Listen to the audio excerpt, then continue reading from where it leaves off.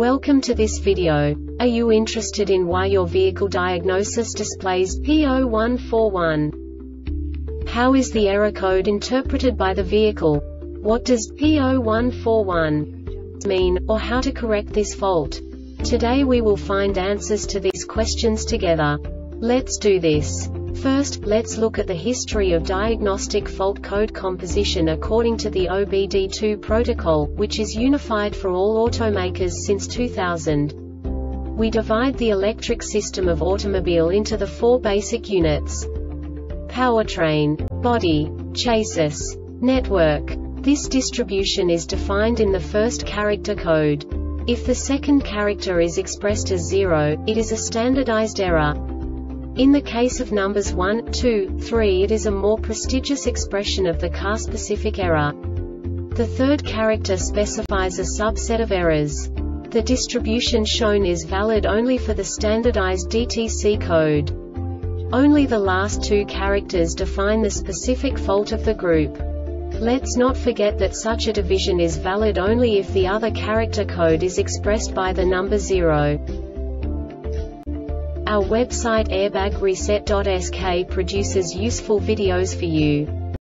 You do not have to go through the OBD2 protocol anymore to know how to troubleshoot any car breakdown. You will find all the diagnostic codes that can be diagnosed in a Daewoo vehicles. Also many other useful things. The following demonstration will help you look into the world of software for car control units. You unbelievably can move the video a bit further. The error code is split into two bytes consisting of 16 bits. One bit is the basic unit that each computer works with. The bit has two logical states. 0, low level, 1, high level. By combining the first two bits, the basic character of the error code is expressed. The next two beats again determine the second character. The last bit styles of the first byte define the third character of the code. The second byte is composed of a combination of 8 bits. The first 4 bits determine the fourth character of the code. And the combination of the last 4 bits defines the fifth character. A single byte conceals 256 possible combinations. We now know in what way the diagnostic tool translates the received information into a more comprehensible format. The number itself does not make sense to us if we cannot assign information about it to what it actually expresses. So, what does the diagnostic trouble code P0141 interpret specifically Daewoo car manufacturers? The basic definition is HO2S12, Bank 1 Sensor 2, Heater Circuit Malfunction.